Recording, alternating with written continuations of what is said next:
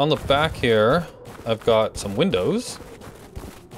So that uh, looks a little bit nicer. But I think like the back end definitely looks a whole lot little better here on just in this little bottom portion here now. Hey everybody, welcome back to the Nidd. So in today's episode, we are going to do some work on this rover. The plan is that I need to get in and out of this machine without using my jetpack. That's my goal, and that's what we're going to accomplish in this episode. So first off, I want to thank um, Drills 007 for an awesome idea that he gave me about, uh, I've got these pistons right here, right? And uh, they are, they would be perfect. I could lower them down and then use the bottoms of them to, you know, when I collect stuff and then put it in there into the, and convey up the tops into the conveyor system.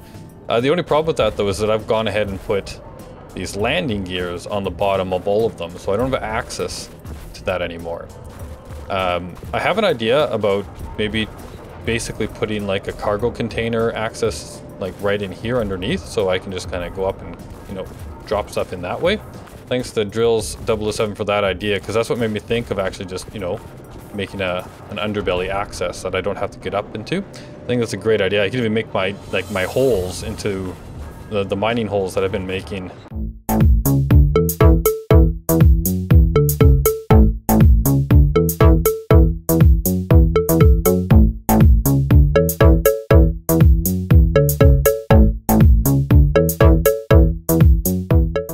underneath. I could just park the rover right underneath and then come back up, and then away we go. But what we really want to get at today is I need to be able to get onto this stupid thing without having to get up all the time. So I've got a design. I've actually designed out this entire rover now, and we're going to be working our way through finishing it off, and I think you guys are going to like it when it's. So, so I want to have the access in the back here. We're going to build that up first, and if there's more, if there is more time, we'll do some more stuff, but uh, that's my goal. So to get started with that, we've added a new mod to the server, and I, I love this mod, ramp, I think. Here it is, here she be. We've got this, this mod here, uh, the boarding ramp. I'll put a link for this uh, in the description as well, but it's it's really cool. So we'll we'll get this in here, and I'll show you how it works, and then how I plan to use it so that we can get up into the ship like so, and then walk on in, right? All right, so I'm gonna get started on that while I talk to you guys about a couple of other things. I want to thank all of you guys who have been commenting uh, in the comments for the last four episodes of this series. There's been lots and lots of love and lots of comments, um, and I've really appreciated them. And I make a point of uh, commenting and replying, or so should I say, replying to all of your guys' comments.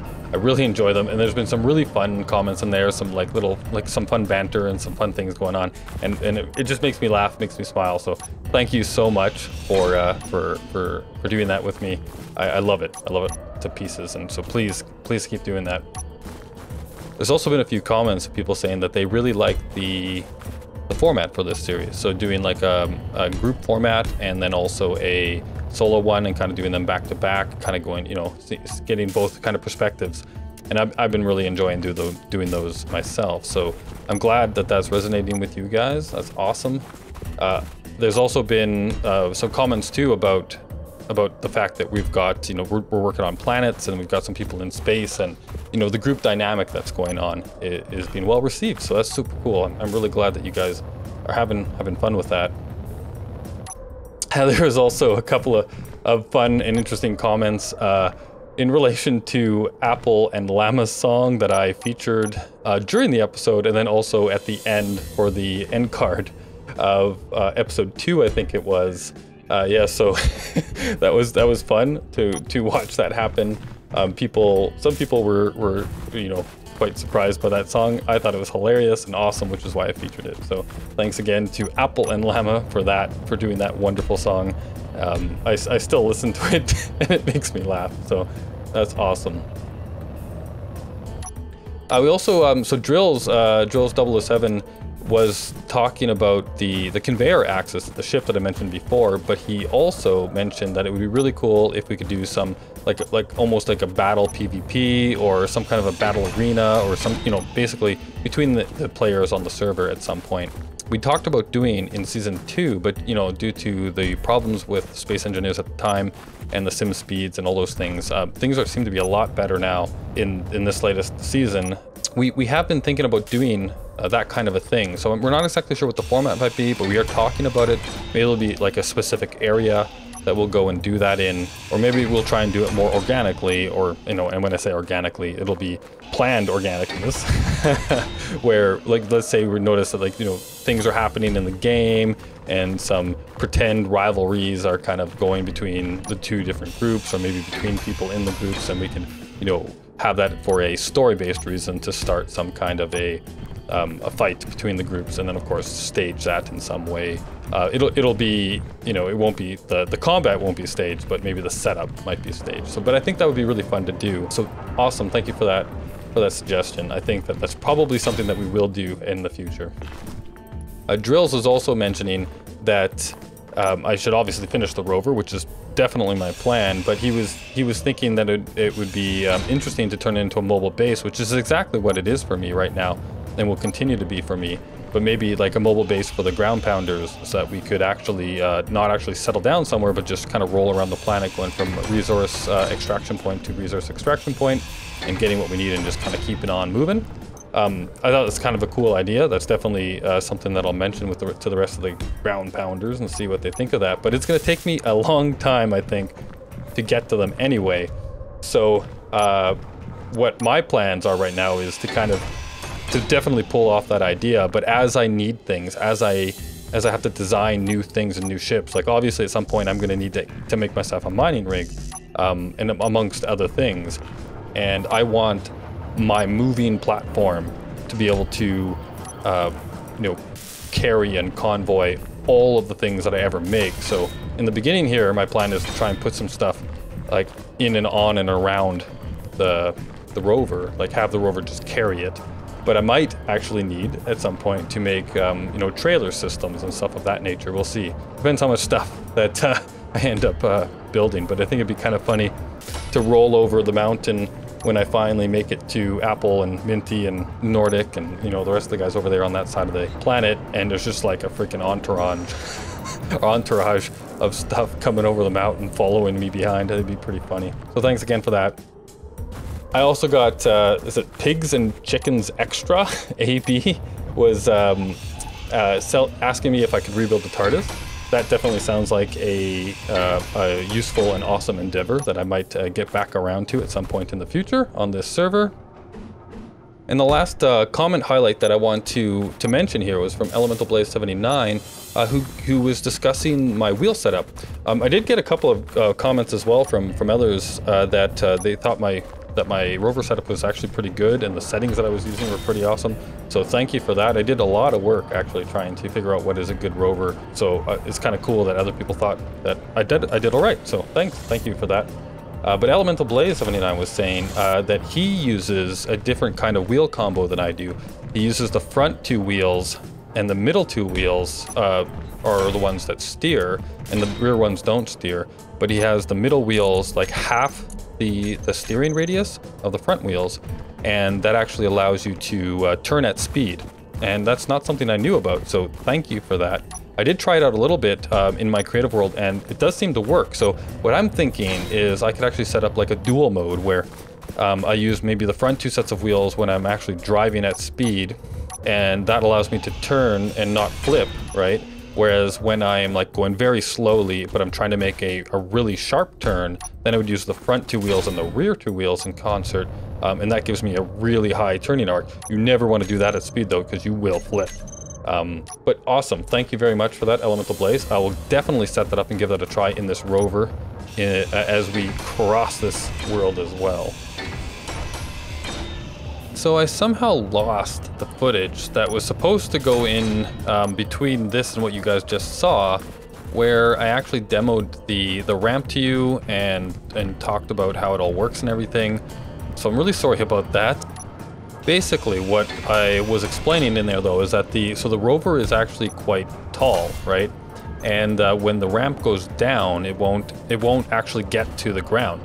So my workaround for that and my plan for that is actually going to be to lower the height of the wheel offset so that when I'm parked, uh, I will lower the vehicle closer to the ground so that, as you can see here, um, I didn't quite lower it good enough there, but um, but I'll lower it so that it actually comes down flush with the ground. My plan for that, though, is, is that I'm going to use like a timer and a button uh, so that I can actually set this stuff up to work all well together, right? So when you so you hit a button, it lowers the vehicle down to the appropriate height or standard height, and if I need to do more, you know, nitty gritty as I can, um, and then allows you to lower down the uh, the door and then bring it back up. And I'm also thinking it might be a good idea to actually incorporate the landing gear into that as well. So you lower the vehicle down, you drop the pistons, you lock the landing gear to the ground so it's you know stable and it won't roll away on you, and then you lower the the ramp there and away you go, right? And then the reverse would be true when you go back up. Uh, yeah, pull it all back up and everything. So because of that though, this video is going to be quite a bit shorter than I planned and expected. So I really am uh, sorry for that. Uh, and we will definitely do a lot more in the next video, a lot more progress. But anyhow, uh, at this point, I'm going to, uh, you know, pass back over to old me and uh, we'll continue on from where we left off. Okay, so I haven't done a whole lot more. Um, on the back here, I've got some windows so that uh, looks a little bit nicer. But I think like the back end definitely looks a whole lot little better here on just in this little bottom portion here now. Um, there's going to be a whole new door going up up on top of that as well, which is going to be a pretty neat design. So we can open this back up. I didn't lower it down anymore, but yeah, you guys get the idea. I would, and I'll, and I'll figure out what those settings are. Um, I wanted to show you guys something that's been getting in the way of progress. So I did a lot of design of this in a you know, a version, a copy of this offline, um, or like an offline version of this. Um, but you're gonna notice, like, okay, so watch this. Like, I'm standing down here. Oh, now it's not doing it. Now it's okay. So there is like some serious like server desync and stuff that I've been dealing with. Um, right now, it seems to be working just perfectly. of course. Uh, but like when I would get down into this area here and I try and fly, I couldn't get up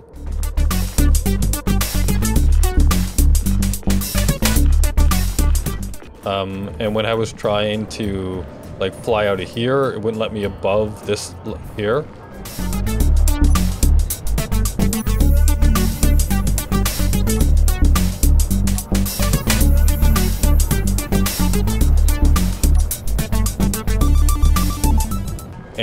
I couldn't even fly up out of here at all.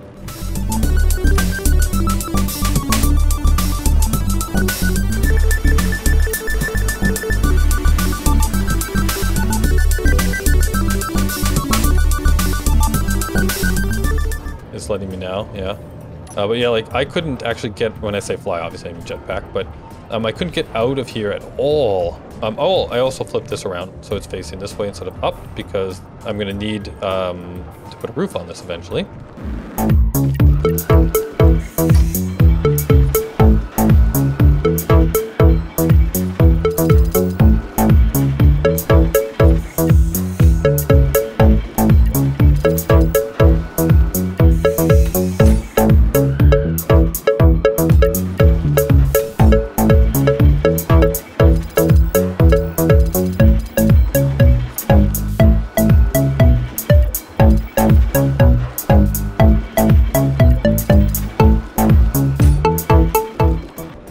Really weird. And and the whole ship just like, and it seems to like come and go, or the whole rover just shakes like crazy.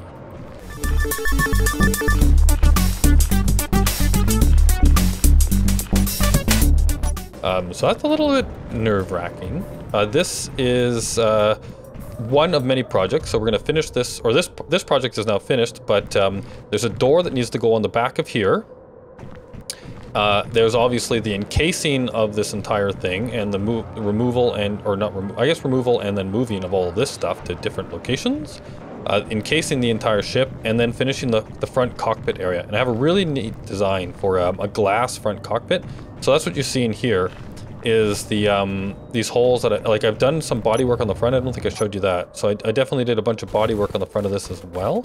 And so there's going to be glass and then a glass like encased front um, that'll all nicely and seamlessly kind of go into the rest of the body, all the way down to the back, and then to the um, uh, to the to the door, the actual like uh, hangar door on the back uh, as well.